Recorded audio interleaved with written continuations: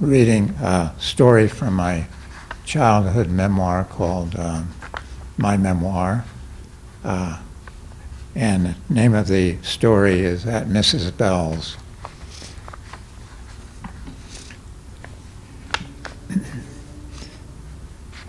I grew up in a um, world where my father, John Howard Lawson, was a playwright, Broadway playwright in the 20s and 30s, experimental playwright. Uh, when uh, he uh, needed money, we'd take the train to California and spend some months or a year or two there uh, while he worked as a screenwriter. And then when he had built up a supply of money, we'd go back to New York and he'd continue to write plays. So I experienced uh, six times crossing the country and going back uh, round trip um, up into the later 30s.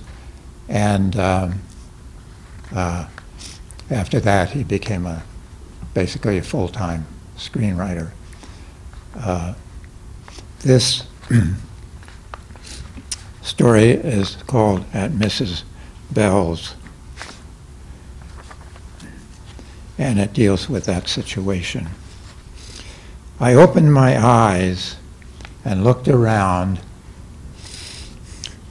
wondering where I was. Then I remembered I was in my bedroom at Mrs. Bell's. My eyes traveled from the ceiling light down to the corner where my cardboard Pinocchio sat on a chair. Dressed in his white shirt and red pants and black shoes, he was the only thing familiar. What I didn't like was that he did remind me where I was. But suppose I wasn't really here, or suppose I was here, but it really wasn't me. Then I remembered the dream I had before I woke. The fear, the emptiness came back. I'd been flying in the air and could fly, and suddenly I couldn't fly. I realized there was nothing under me and nothing to stop me from falling. Lying there with the fear in my head, I turned again towards my Pinocchio to make me feel better. He was my friend, my only friend.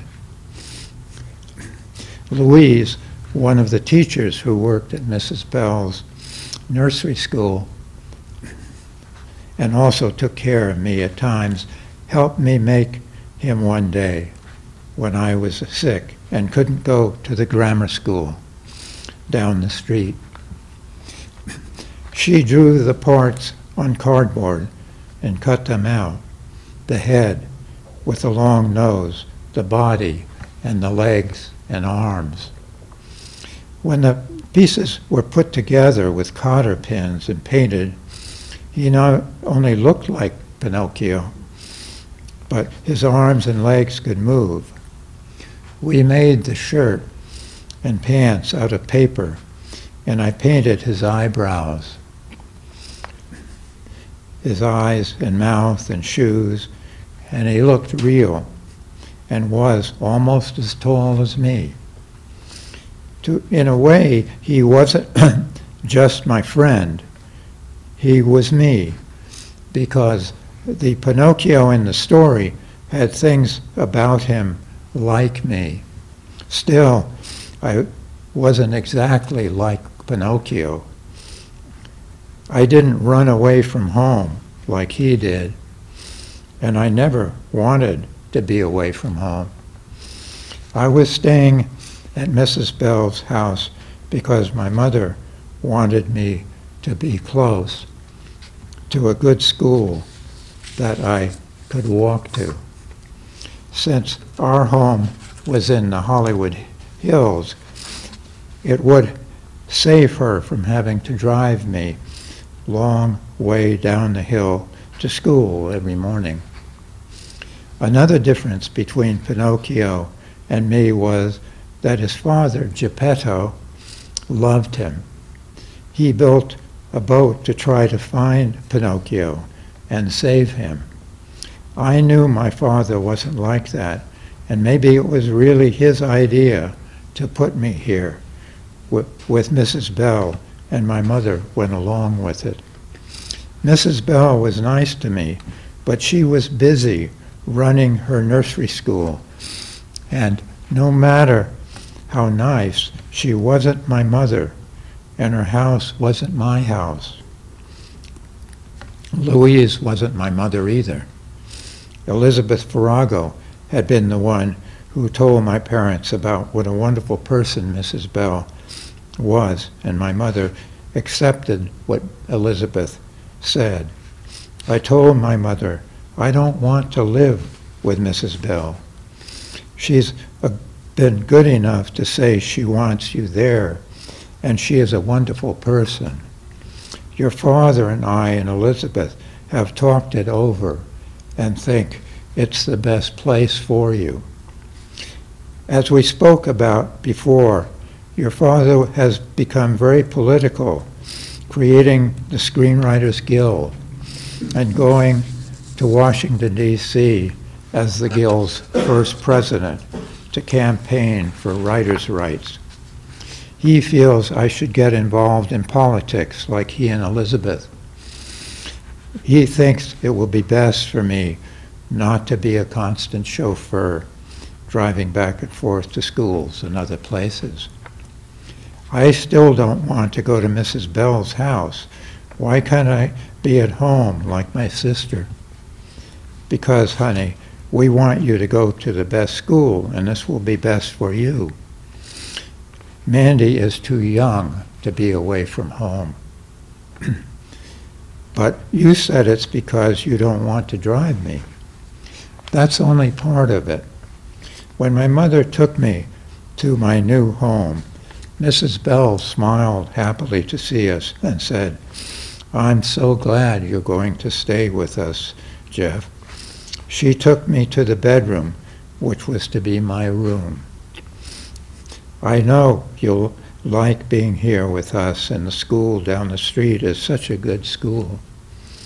Now, as I lay in bed in Mrs. Bell's house, looking at my Pinocchio, I felt like my parents didn't like me. I could understand it if my father really didn't like me. He never seemed interested in children but just in his work, writing or reading. He liked to talk about ideas with friends, like Dos and other writers. But why didn't my mother like me? She let Mandy stay at home. Didn't she have to be driven to school too? And if she was driving her, why couldn't she drive me? That same morning, after I had breakfast and was getting ready for school, the phone rang. Louise answered it and came into my room. She said, Jeff, your mother called and she is coming to get you because you're going back to New York. You aren't going to school today. It was hard to believe, but Louise said it was true. I was going back to my real home at Mastic Beach, Long Island. Soon I would be in our house, and I could play with my friends, Charles and Arthur. We would have the whole 24 acres of woods and the creek to explore. We had secret hiding places out in the woods where nobody could find us. In a little while, my mother arrived all upset and frustrated, flustered as she could be when unexpected things happened. She put my clothes in my suitcase. Mrs. Bell, who had been in the back with the nursery school, came in and she and my mother hugged. I'm so sorry this has happened, my mother said. I know Jeff will miss you. We're, we've loved having him, and he's always welcome here at my home. We love Jeff. He is such a wonderful boy. You've been wonderful to care for him, Mrs. Bell. My mother hugged her again and wiped tears from her face. It really is so silly what happened. Jack, as you know, know, may know, can be very determined about political loyalties. His producer, Harry Cohn, insisted that all the employees contribute to the election campaign of the Republican Frank Merriam for governor. Jack doesn't really like Upton Sinclair much either, but he refused to contribute to Merriam's campaign. Cohn said to him, All right, Jack, but to please me and make it so the others don't think it unfair, give at least a dollar. Jack refused, and Cohn fired him. So here I am, and we are going back to Long Island. I'm so sorry, Mrs. Bell said. That Harry Cohn must be an awful person. Mrs. Bell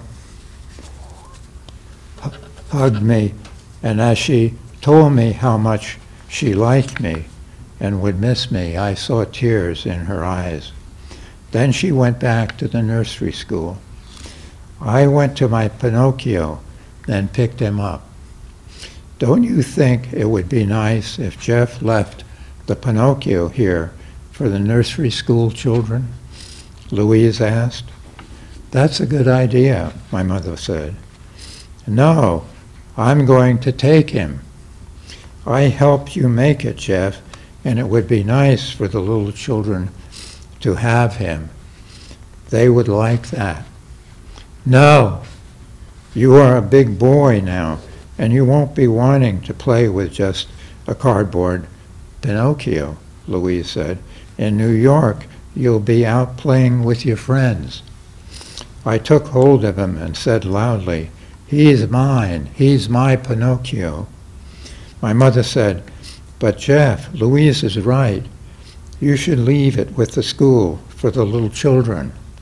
They will appreciate it, and you're getting beyond the stage where you will want something like that to play with.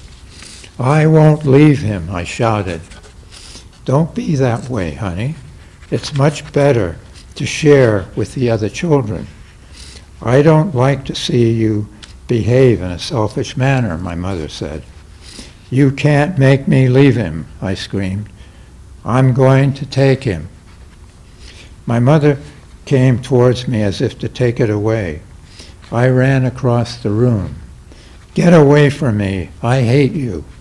Jeff, why are you so angry? Louise smiled. Let him have it, Sue. It obviously means something to him. It's okay. I feel embarrassed that you're behaving in such a silly way, Jeff. Why are you acting like that? I didn't answer. I just clutched my Pinocchio.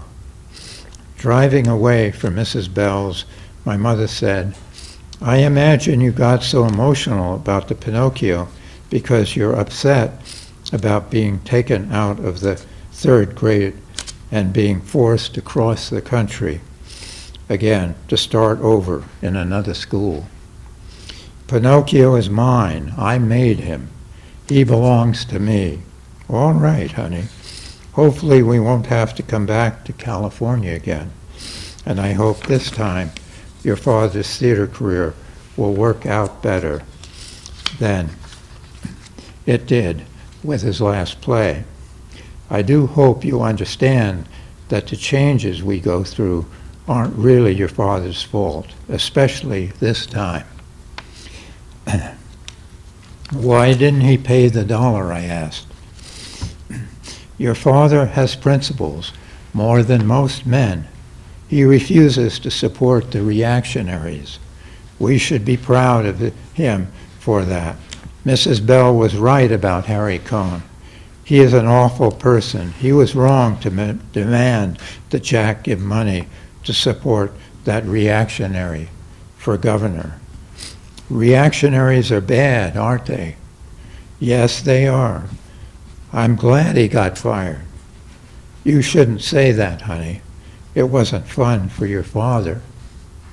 It was like having a rug pulled out from under him. What do you mean? Like having the ground taken out from under a person, so there is nothing to support them. You can understand that, can't you?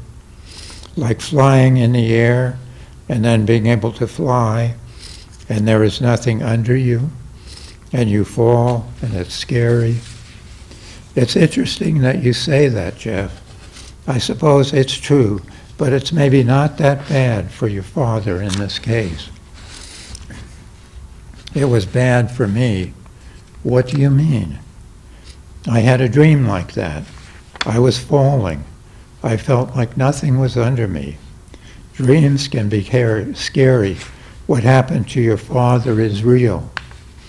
I knew I shouldn't like Cohn because he fired my father, but he saved me from having to live at Mrs. Bell's and made it so I could go live in my own home again.